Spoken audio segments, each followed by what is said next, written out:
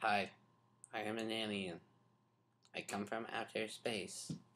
I am here to evaporate all of you into dust. I am a RuneScape player. I will PK you.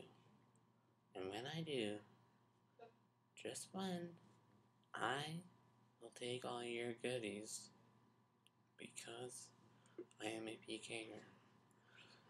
So you understand that?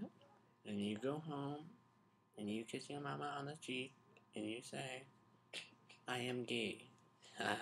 Because you are gay.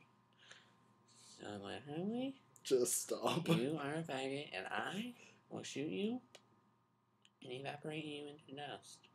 Goodbye. Signing off.